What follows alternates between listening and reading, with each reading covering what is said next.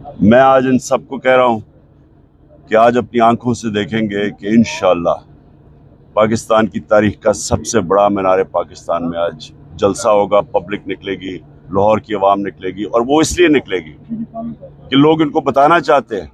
ये जो जुल्म कर रहे हैं हमारे ऊपर, जिस तरह ये हर हरबा इस्तेमाल कर रहे हैं कि किसी तरह तहरीक इंसाफ को क्रश किया जाए, इस मुल्क की आज़ादी को जो एक कौम बड़े फ़ख्र से आज़ाद हुई थी उस आज़ादी को इन्होंने बिल्कुल ख़त्म कर दिया है। ऐसा लगता है कि मकबूजा कश्मीर है या कोई फ़लस्तीन है जो हमारे ऊपर जुल्म हो रहे हैं टॉर्चर कर रहे हैं लोगों को उठा रहे हैं।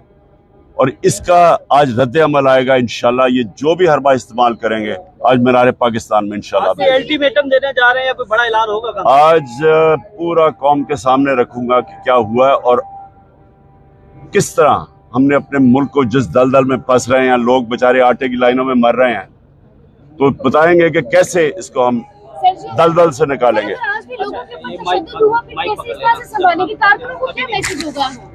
देखें तशद जुल्म हो रहा है लेकिन ये हकीकी आज़ादी की जंग है ये जहाद है इसके लिए कुर्बानियाँ देनी पड़ेंगी। मैं भी तैयार हूँ हमारी सारी सब तैयार हैं कुर्बानियों के लिए लेकिन हमने किसी सूरत पीछे नहीं हटना।